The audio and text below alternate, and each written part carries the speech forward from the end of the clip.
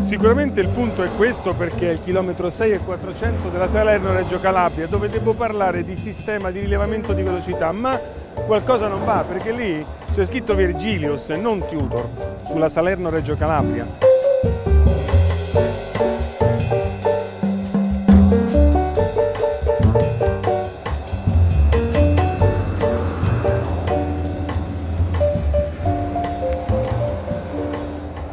Comandante? Marcellino, in autostrada, appiedato e già siamo alla prima infrazione. Ti avevo detto aspettami per parlare del Vergilius, ma non sotto il portale. Andiamo in area di servizio.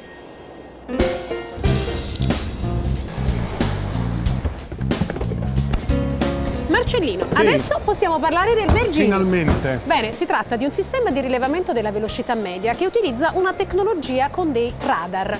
Radar che intercettano il flusso veicolare, calcolano il tempo o la velocità media di percorrenza e sono in grado di sanzionare tutti quegli utenti che superano i limiti di velocità. Il limite è sempre quello dei 130 km orari presente su tutte le autostrade italiane. Voglio però ricordarti che il sistema Virgilius, che è in funzione dal 16 luglio del 2014, rappresenta una novità dal punto di vista tecnologico perché i portali sono presenti subito dopo gli svincoli di entrata e prima degli svincoli di uscita. Quindi l'intera tratta è coperta da questo sistema di rilevamento della velocità media. Una tecnologia amica che ci accompagna sempre? Sì, una tecnologia amica che consente quindi di eh, controllare i flussi veicolari, abbattere l'incidentalità e soprattutto far sì che le pattuglie della Polizia Stradale siano ancora più presenti sul territorio per quelle attività di vigilanza stradale e soccorso all'utenza. E allora grazie a Virgilius.